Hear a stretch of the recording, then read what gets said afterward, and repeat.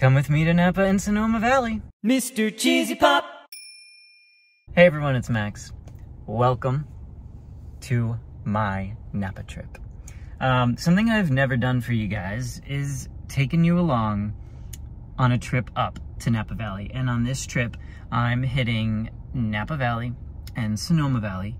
And uh, I'm actually going to wineries that I've never been to before. So this is a, a really exciting trip for me.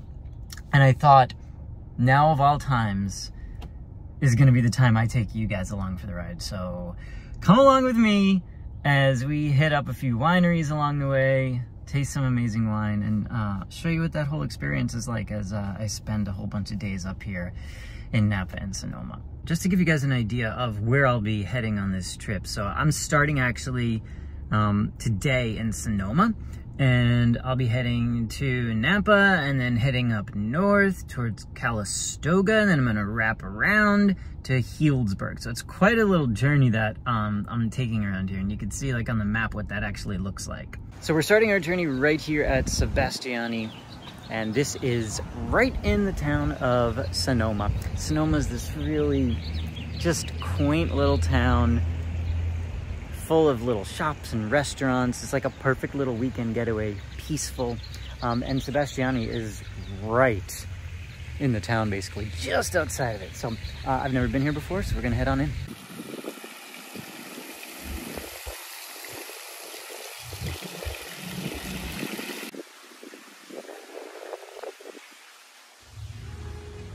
So here's the tasting area, which is where I will do my tasting shortly. But they said go take a tour around this whole area and, and check it out because this is the world's biggest barrel back here. Whoa. There it is. Okay, so yeah, that is the world's biggest barrel.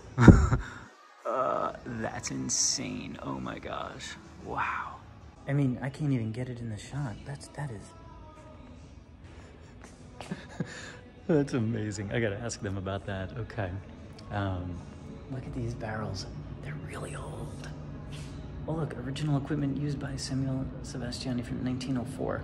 The original tank. Oh, how neat is that? Mm. I love wine because there's so much history behind it. When you're drinking something, you're drinking a piece of history. Let's do that. Hey, Christopher. hey, how are you? this is who I'm learning all of my knowledge from today. Heavy-handed pours. Love it. so here's the tasting menu here at Sebastiani. And uh, Christopher takes me through it. The first one is this Rosé, 2021 Rosé. And a cheers to you guys.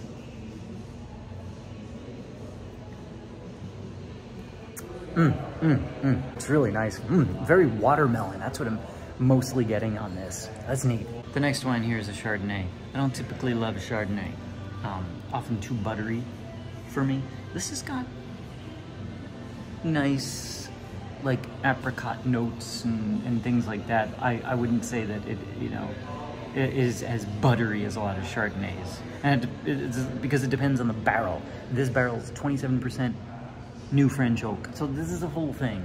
The, the, the, barrel that it's in could change everything. This is part of the tasting experience, guys. This is why you get five things here. You taste them, you see what you like, and then you buy a bottle, hopefully. So this one's a Barbera. Um, this is your classic Italian kind of house table wine. And uh, it is super light. Just easy drinking. You know, you bring this to your party. So this is the Sangiovese, and uh, compared to the Barbera, which I just had, Barbera is very light. This one, your mouth is just going crazy. All these different kind of, ooh, ooh, ooh. The mouthfeel of wine is such an interesting thing. So when you guys drink your wine, pay attention to what it's doing to your to your lips, to your like up here, to your cheeks. This is one of those wines that, that does a million things to your, to your mouth. It's so fascinating. Final one of the tasting is this 2019 Gravel Red Bed. It is a blend, Cabernet Sauvignon, Merlot, and a touch of Barbera. And it's just delicious, huh? Ah, oh, man. Really fruit forward and just lovely. I I've been really feeling the blends lately, so mmm, like this one a lot. And it is very, very fruit forward. Great tasting here at Sebastiani. I'm going home with the Barbera. I, I just felt like I'm gonna make some pasta and have this at some point when I'm home, since, you know, I love to make pasta. Uh, but this is perfect with that. So, great time here. Thank you so much, Christopher. Thank you. Really appreciate it. Appreciate having you. Wave goodbye. Heading out with a bottle of wine. That's the great thing about tasting. I didn't know going in that I was going to go home with the Barbera, but uh, that was my favorite. Yeah, all right. Great first stop of the trip here at Sebastiani. So I was talking briefly about the little town of Sonoma, and I just wanted to take you guys there uh, because it's literally right down the street from Sebastiani. Um, there's this uh, town square. So here's the square. It's a lovely park and it's surrounded on all sides by these um, little shops and restaurants and it's just lovely.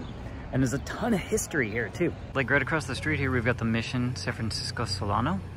Um, and you can see what this town looks like. It's it's adorable. I mean look at it. I wanted to take you into the park here because this is actually a monument that commemorates the raising of the bear flag on this spot. This is where, you can read it here, freedom of California from uh, Mexican rule on July 9th, 1846. the bear flag was hauled down and the American flag was raised here. So there's a ton of history right here in Sonoma. I crossed the street to the mission just to kind of give you guys a little peek at this. Really cool. Northernmost of California's Franciscan missions. Here's State Park.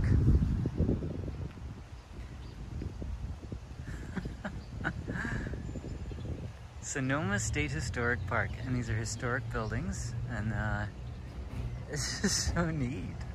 The history in here is just unbelievable. So right here, I'm standing on the foundation of uh, General Vallejo's house. So General Vallejo uh, was here to defend this area, the Pueblo. Um, but as U.S. settlers arrived from the east, uh, the Mexicans here were outnumbered, and then that's when the, the whole flag thing happened over there. And uh, declared California an independent republic, 1846, and then California um, joined the United States four years later. So this is the foundation of his house, um, and the only thing that remains here actually is servants' quarters, which are right here. Crazy history in wine country. As I was saying, there's all these little stores all around the plaza here um, and restaurants, and it's just so lovely and quaint. It's really nice. You can see right there across the street, Sebastiani Theater. So they really have their mark all over this town, Sebastiani family. I definitely suggest if you're up here in uh, the Sonoma area, you know, you come in here, you grab a meal. Girl and the Fig's is an amazing restaurant. Um, there's a lot of really great places up here. Walt Wines is right around the corner. They got their tasting room. Um, and then, of course, Sebastiani is literally down the road, and there's a ton of wineries just all in this area. All right, well, um, I'm going to head now out of Sonoma, and we're going to head into Napa, downtown Napa, which is just about 20 minutes or so away. It's a really short drive, so See there. Hey guys, I'm in Napa, right along the river. So this is a riverfront walk. There are various restaurants and whatnot along the river, which offer a lovely view. So I just wanted to walk you by this uh, for a moment. All right, after a quick little detour to show you guys the uh, river, which is downtown. I'll be back there later tonight, actually. Um, my second winery here today is Black Stallion. Check it out. So pretty. Look at this beautiful patio that I will be sitting at. I'm gonna be sitting right here. And uh, you got this gorgeous, gorgeous view back here. Look at this. Oh, I mean, you're looking at the actual vines here. Oh, look, here. So here's where we are. Napa Valley, right? So we're right here. You know, we came from right over around here, Sonoma earlier. And we're here. And then we're gonna make our way all the way up and around. You'll see. But here we are right now. This is awesome. And you can see how beautiful this is. Look at the mountains up there. So here at Black Stallion, they do this. You get a choice. So a mixed one. It's got whites and reds. This is only red. Um, these are their best ones, and this is the club tasting. I also have some uh, charcuterie. Great. So, um, you know what, guys? I might just... So here at Black Stallion, they give you all four of their tastings at once. And we've got, so a Pinot, Syrah, two cabs. Plus, what's this? I got a little charcuterie. It looks like an adult Happy Meal, doesn't it? okay, this is so cute. They give you some shortbread. We've got, oh yeah, we got our cheese. We've got our jam. We've got our crackers. And we got these little plates. Let's do it. I wanted to come over here and take my first sip of this Pinot right in front of the gorgeous vineyards here, right? Okay, so Carla explained to me that this is gonna be a cab lover's Pinot because it's got a much fuller body than a normal Pinot would, and it is, like I'm tasting the normal Pinot notes, but yeah, much fuller body. Oh, I really like it. Cheese and wine, I don't need much more. Happy Max. Hmm, cheers guys. Tasting wine is so fascinating because sometimes the first sip that you have is not the one that you end up liking the most. So like uh, this Syrah, I had the first sip and I was like, hmm, nice. But then as I ate my like cheese and charcuterie over here, it really just opened up. The flavor changed and it just became my favorite. So it, it's so fascinating always to when you're when you're tasting, um, and give yourself the opportunity to really taste them and, and go through the entire experience. Because first I was like, yeah, it's gonna be the Pinot, but no, it's the Syrah. So check out this uh, truck as we head out. This is a 1946 GMC truck. It was bought by the uh, Indelicato family to haul wine in the 50s and 60s. How about that? Haul wine on the back of that. I'm hauling one bottle. Out of here, it's the Syrah. Uh, Carla was great. She took care of me. Um, you know, I, I, I'm, I'm here the week uh, after Memorial Day. Really light time for crowds. You get some really wonderful one-on-one -on -one attention. Uh, and it, it's just lovely. Uh, so it, it's really cool. If you ever can, just take a break and head up here during a, uh, an off time. It's really special. All right. Two wonderful winery experiences today. I'll see you later. I'm gonna go to my hotel now, chill for a bit, and then I've got dinner tonight with Vanessa. You guys know Vanessa. All right, I'll see you later. Hey guys, well it's dinner time here in Napa, and I am in uh, downtown Napa, and I am having dinner um, with some of my favorite people actually, Vanessa and Robert. Um, and I'm gonna be here at the Oxbow Public Market. Um, Oxbow Public Market is really cool. There's a lot of different food stalls and there's also some restaurants inside.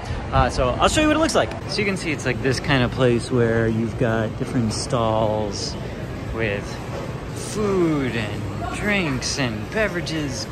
And then there's four uh, restaurants in that building as well. So this is a cool spot. If you've ever been to Grand Central Market in LA, kind of that kind of feel. Um, different food stalls, shops and whatnot. Good morning, everybody, and welcome to another day in Napa. And we are starting our day right here at the legendary Boonfly Cafe. This is uh, part of the Carneros Resort. I've actually never been here, um, but it is so well well known for their breakfast. Um, so we're going in, Boonfly Cafe. I'll see you in there. All right, I'm sitting at the bar here, and uh, here's the menu. So they're really known for their donuts. Everyone always talks about these donuts. Um, here's what else they've got. Oh man. All right. I need some coffee. Okay, much needed. Cappuccino.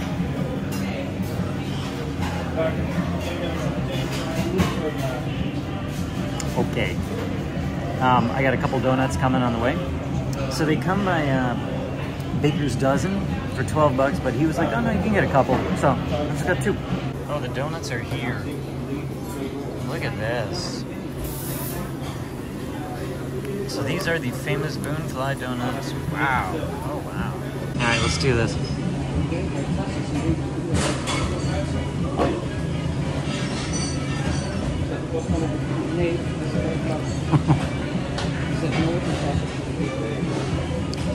okay, you have to start your whole, you gotta start a Napa day like this. They're so soft and warm on the inside, but there's like a, a touch of this crispy stuff on the outside. Oh, that's one of the best donuts I've ever had. The donuts with this coffee, just, yeah. Uh, wait till you see what I just ordered for uh, my meal. My food's here, and you're gonna be like, that is green eggs and ham. Oh yeah.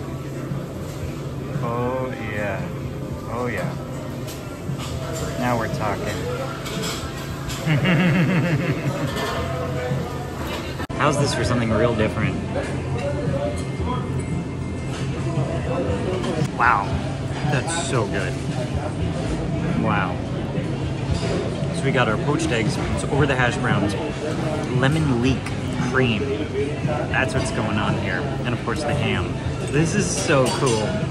Dr. Seuss would be so proud. Well, I am stuffed.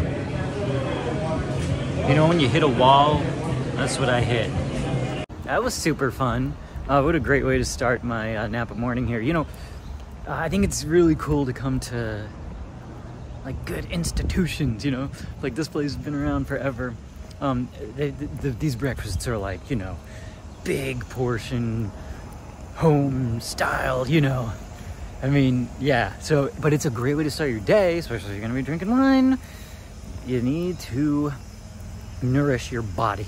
It's very important to always like keep eating and stay hydrated all day long when you're uh, wine tasting. After a great breakfast at Boonfly, I'm walking along here on the Napa River. And uh, this is in downtown Napa. It's a really beautiful spot. And there's actually a place here that I've always been meaning to check out for the last couple years. And it is Wilfred's. Wilfred's is not your typical Napa place. It is actually a tiki bar. What? A tiki bar in wine country? Yes. So, um, walking along the river, and we're gonna pop in for a quick uh, beverage. Here's Wilfred's. totally different vibe. Here it is. So you can see, I was just walking along the river right here. And uh, this is, this is where it is. Let's go check it out. So here it is, guys. You can see, look how cute this place is. Oh my gosh. Here's the menu, and you can see all of your tiki drinks. They've even got your collectible mugs. Here's what I got. I got the Tahitian punch. So I'm gonna head up these stairs. Look at this. Okay. The bartender said there's a lounge up here. So I'm taking my drink up to the top. I wanna see what this looks like. Oh my gosh, how cute is this? Look at this. Oh my gosh. So we have this little like indoor spot. And then there's this whole... Oh wow. See, this is so cool. Look at this outdoor spot. And it overlooks the river. This is amazing. Look at this. You got to... Yeah. Um, how's the drink? Ah, oh, it's delicious. This is such a great spot to just... After your day of wine drinking, you're like, I'm done with the wine. This is so great. Look how chill this is up here. Are you kidding? Well, that was a really fun experience. That is such a cute place, and it's in like such an amazing location too. I'm headed now to a winery, and I'm gonna meet a buddy of mine there too that I think some of you guys have seen before as well. Uh, I'll see you there. I'm on my way to the winery, but I had to stop and show you this, because this is so classic. The big welcome to Napa Valley sign. There's actually two of these. Um, this one is um, on the southern part of uh, Highway 29. There's one uh, uh, further north, uh, kind of like St. Helena, Calistoga, in that area. But this is, uh, I think, the first one that most people see. Um, so people, you know, like to park on the side of the road and take their picture uh, right over here. It's it's awesome. Check it out. It's the wine train. I love it. It's it's the Napa Valley wine train. So the Napa Valley wine train is another thing that I have never done, but you hop on board. They've got a full-on dinner wine pairing uh, that you could do. One day I will uh, get on that train and, and uh, experience that. It seems like a lot of fun. Uh, but I'm so glad I caught the train for you guys. All right. Let's uh, head uh, back on our journey. but I had to show you this, of course. And the wine is bottled poetry. Oh, wow, this is so gorgeous. wow. All right, I am here at Peju Winery. Um, this, this is gonna be stunning. Oh my. Wow. Yeah, okay, this is, uh, gorgeous.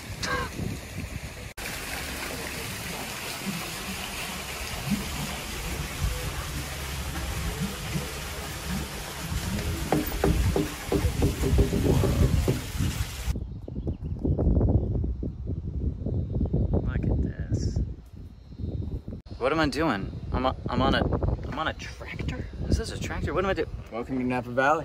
It's Ian. Howdy. What's up? How you doing, my It's friend? Ian. Oh man, it is good to see you. It's good to see you, man. Back in the vineyard. It's been. I'm back. I know. year, yeah, I haven't seen you in forever. Yeah. know, but I'll never forget launching Yeah. all my wines with me through uh, that dark time of COVID together.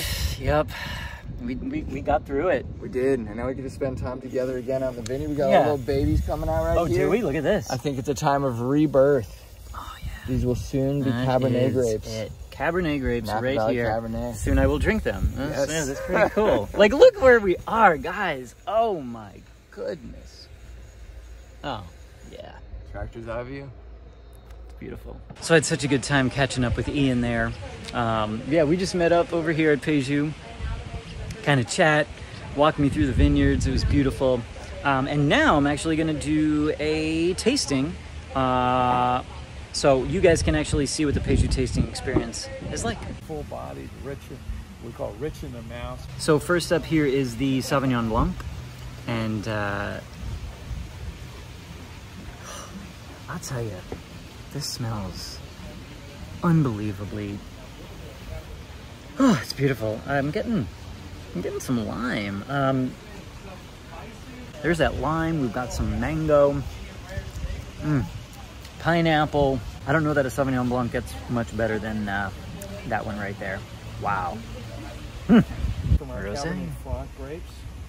This is a really nice rosé. I think I'm gonna like the Sauvignon Blanc better than this rosé, which is wow. But it's still delightful. A perfect, perfect summer.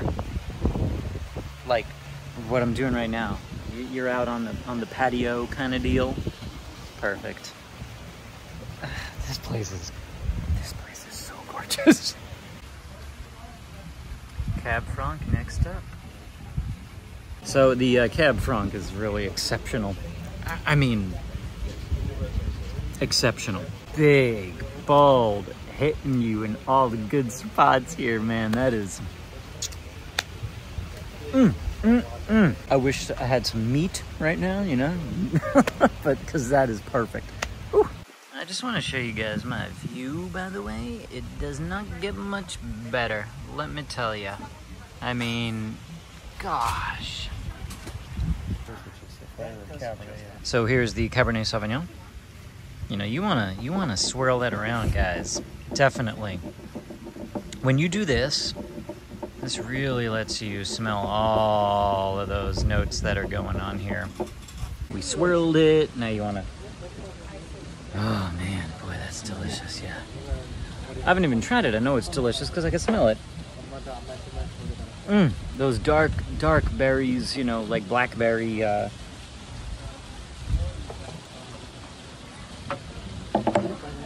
Mm, such a smooth Cabernet Sauvignon. Boy, that's delicious. Oh my. Uh, makes exceptional wines. I, I, I gotta tell you, this is an exceptional place. The winemaking, and then just, I mean, you saw the grounds here are just, just stunning. It does not get much better than this. It is. Um, mm. So here we go. This is the Barrel EXP. So this one that they just poured me is the Barrel EXP. What is EXP? It's experiment. So this is the Cabernet Sauvignon, 100% Cab, that they have just kind of experimented with the barrel. And the barrel really provides so much of what you're smelling and tasting. Uh, and he was telling me 90% French oak, um, American oak, the rest of it. But then there's also some Hungarian oak.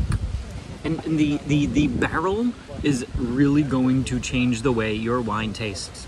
You know, they toast, they toast the barrels.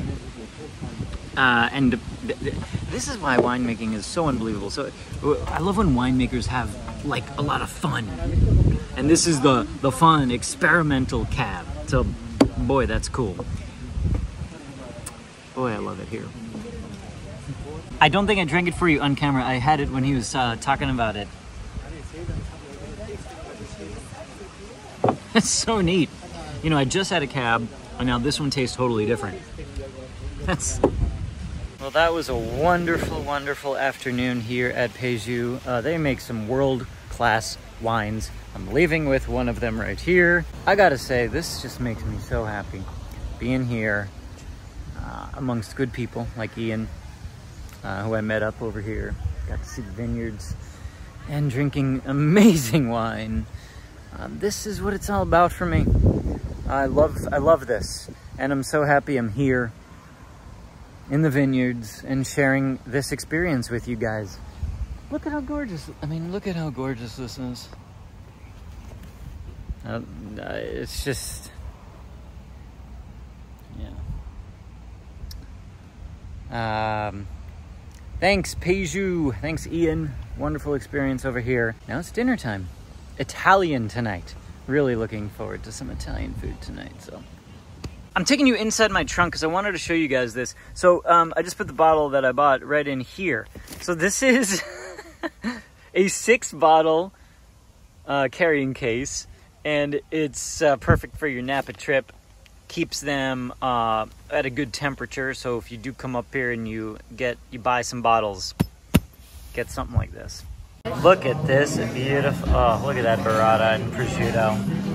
So I'm at Cook St. Helena. This is an amazing Italian restaurant. Uh, the locals know about this place, but not a lot of people do. But I'm so excited to try this food. It's amazing. Look at this beautiful food. Oh my goodness. We got. Mm, mm, mm. You have beautiful pastas in front of you and a glass of wine. Tell me what you're drinking. Oh, actually, this is. Uh, they make this here. This is the Cook Red. Yeah, and Yeah. who makes it? Cook. Cook. Do you think it's maybe Josh Phelps? Oh, thank you, Amanda. Yes. Amanda's filming, by the way. Hi, Amanda. Yeah. Hello. Give us a little swirl. Swirl. Give us a swirl. Swirl, sorry. There you go. There you go. Swirl up. Okay. Beautiful. Notes of plum and cassis.